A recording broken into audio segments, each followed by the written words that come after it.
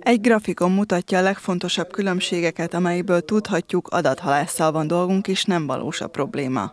A Biztonságos Internet napját világszerte mindenhol február első kedjén rendezik meg. A nap célja, hogy különböző rendezvények és előadások segítségében felhívják a figyelmet az internet veszélyeire. Ilyen lehet például a zaklatás, a gyermekpornográfia, vagy napjainkban az adathalászat, hiszen az elmúlt években sokat változott, hogy mitől veszélyes az internet. A legelején, amikor a program indult, akkor még a, a közösségi média használata, a cyberbullyingnek a megelőzése vagy kezelése volt a feladat.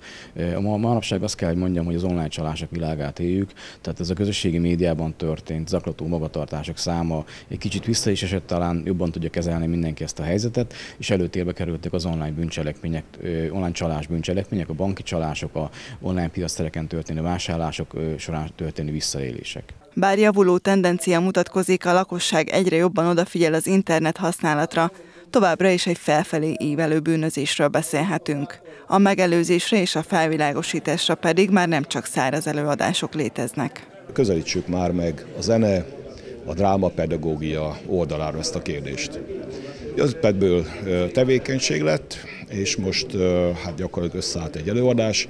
Két kimondottan az interneten terjedő bűnözéssel kapcsolatos kis darabot adunk elő, amelyet az élet, illetve mi írtunk, és hát szeretnénk ezt úgy előadni, hogy amikor hazamennek a hallgatóság, az ott is megmaradjon, és amikor véletlenül ők esetleg egy áldozati hálóba bekerülnek, akkor tudják azt mondani, hogy köszönöm, nem. Az átgondoltság és higgadság nagyon fontos akkor is, ha esetleg mégis megtörténik a baj. A bankszövetség és a különböző pénz, pénzintézetekkel történő együttműködés keretében ugye próbáljuk ezeket a folyamatokat visszafordítani, a, tehát a csalásokra gondolva. Ezért tényleg azt javaslom mindenkinek, hogy ha ilyen típusú bűncselekménynek a sértetjévé válik bárki, akkor tegyen bejelentést a rendőrségen, hívja fel a bankját, tehát hogy van esély arra, hogy ezt a folyamatot megfordítsuk, illetve megállítsuk.